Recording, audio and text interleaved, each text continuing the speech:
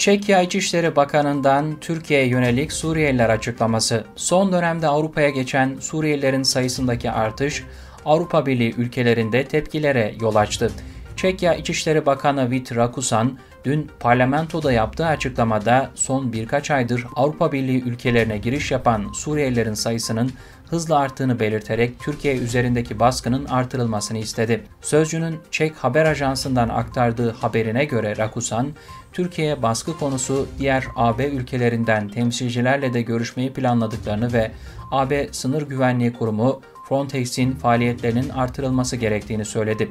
Slovak mevkidaşı Roman Mikuleş'le büyüyen yasa dışı göçmen sorununu ele almak üzere bir araya geldiklerini aktaran Rakusan, Türkiye'den gelen göçmen sayısının artmasının bölgede endişe yarattığını ifade etti. Sınırda yasa dışı göçe karşı güvenliği artırdıklarını kaydeden Çek Bakan, sınır geçişlerinde araçlara yönelik aramaların da sıklaştırılacağını belirtti.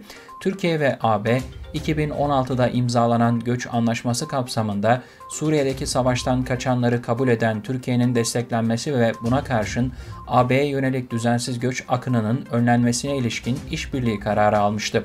Anlaşma uyarınca Türkiye'ye Suriyelilere bakması için para ödeyen AB'nin geri kabul şartları gereği çok az sayıda Suriyeliyi kabul ettiği ortaya çıkmıştı. Hiçbir siyasi kurum ve kuruluşa bağlı olmadan gerçekleştirdiğimiz bağımsız yayınlarımız için videolarımızı beğenmeyi, kanalımıza abone olmayı unutmayın.